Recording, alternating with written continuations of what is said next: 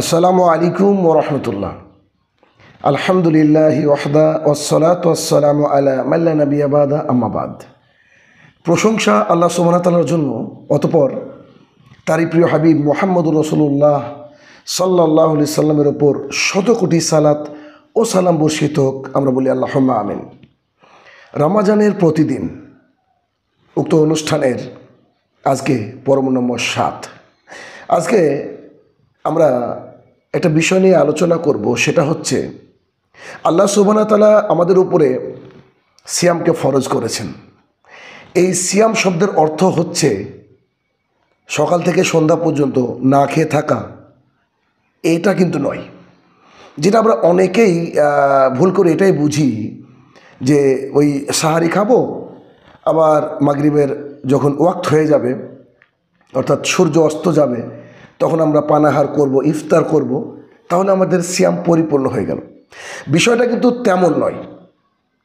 খুব ভালো করে মনোযোগ সহকারে শুনতে হবে। কারণ এই ষোলো সতেরো ঘণ্টা বা চোদ্দ ঘণ্টা আমরা না খেয়ে যে থাকছি, এর পরেও যদি আমরা সিয়ামের সঠিক বেনিফিট আল্লাহ তালার তরফ থেকে না পাই, তাহলে তো এর চেয়ে মানে কষ্টের আর কিছু থাকবে না। কেননা যেদিন আমরা এই সিয়ামের পূর্ণ নেকি পাব, সেই দিন যদি আমরা শত চেষ্টাও করি, তো সেখান থেকে আবার দুনিয়াতে ঘুরে এসে সিয়াম পালন করব এবং আবার প্রপার সিয়াম পালন করে নেকিগুলো হাসিল করব, এমন কিন্তু রাস্তা থাকবে না। অর্থাৎ বলতে চাইছি যে কিয়ামতের মাঠ থেকে ঘুরে আসা যাবে না। এই জন্য যে আমল আমরা করব, সে আমল সম্পর্কে কিন্তু আমাদের জানা জরুরি। তো সিয়াম আমরা পালন করব। সিয়ামের অর্থ হচ্ছে বিরত থাকা।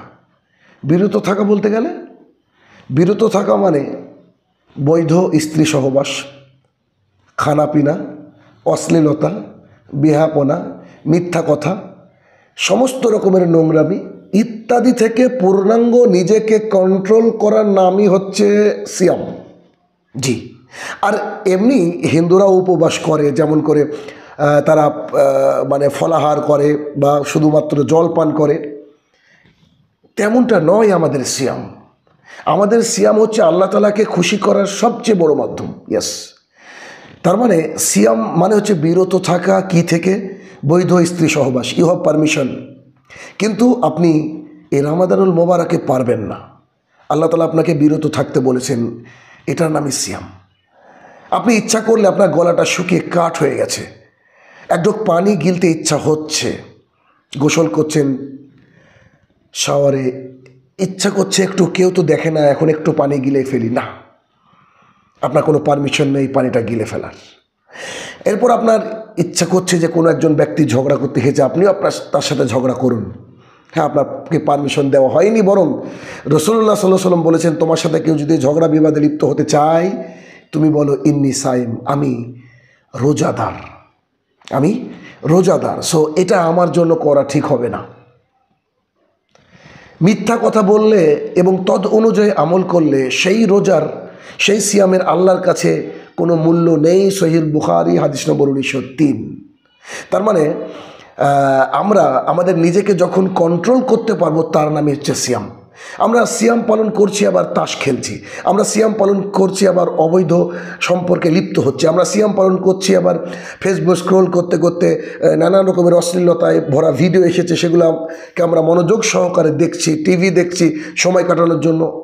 যদি এইসব আমাদের সিয়ামের মধ্যে থেকে থাকে, তাহলে বুঝে নিতে হবে যে আমাদের সিয়ামকে এখনও পিউরিফাই করতে হবে।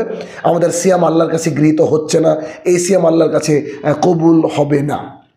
সিয়াম মানে শুধুমাত্র পানাহার ত্যাগের নাম নয়। সিয়াম মানে বৈধ স্ত্রী সহবাস থেকে দূরে থাকতে হবে।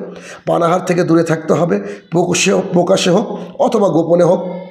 অশ্লীলতা থেকে দূরে থাকতে হবে বেয়াপনা থেকে দূরে থাকতে হবে, নোংরামি থেকে দূরে থাকতে হবে, কেউ ঝগড়া বিবাদে লিপ্ত হওয়ার জন্য এনফোর্স করলে তাকে বলতে হবে, আমি সিয়াম অবস্থায় রয়েছি।